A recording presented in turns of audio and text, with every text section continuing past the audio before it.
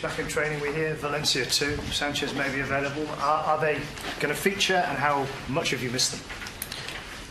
I don't know because um, today's still Friday and training Saturday, training Sunday, match Monday, decisions to be made uh, to be made uh, Sunday. But uh, yes, training with uh, with the team, Dalot also training for the team the first time this week.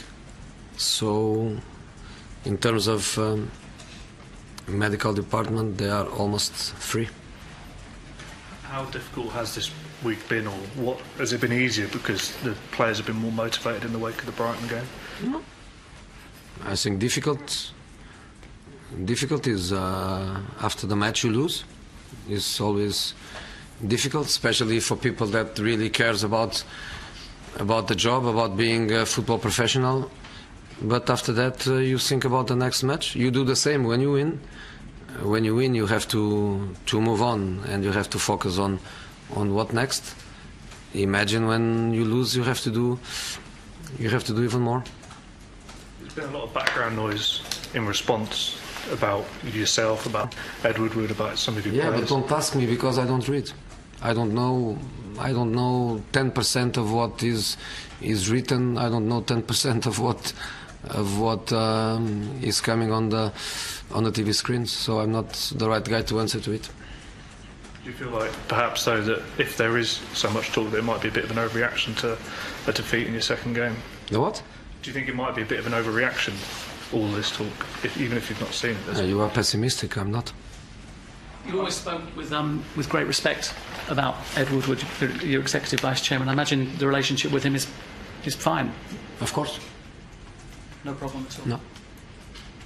Jose, when Paul Pogba comes out and says the attitude wasn't right after a game like Brighton, well, how does that make you feel as a manager that you've got this brilliant player that can be exceptional one week and the next week so inconsistent?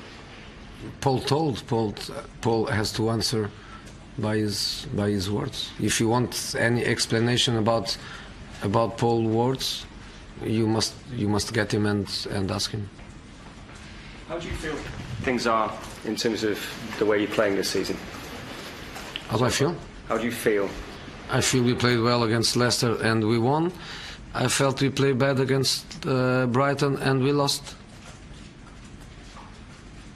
Do you, what would you like to see from the players, and what would you like to see against Spurs? Then, what, what you've got a great I would like to play well and win. How, is, how do you do that after the Brighton game? How you get, do you get them all right again?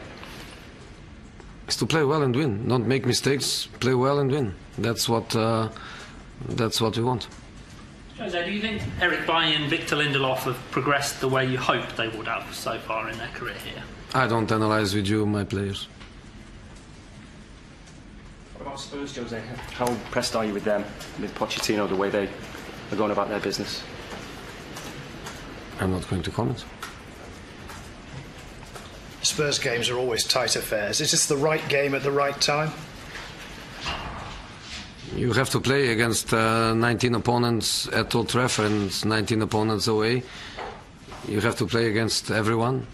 Uh, I don't know never when is the right time. Is the time? Is now. The the fixtures were decided this way, and we have to play Tottenham Hotspurs in the second match at um, Old Trafford before we go away. If I'm not wrong, we go away twice in a row against Burnley and um, and Watford. This is what it is, and uh, of course, difficult match. Of course, against a team that last season finished um, top four, so difficult match.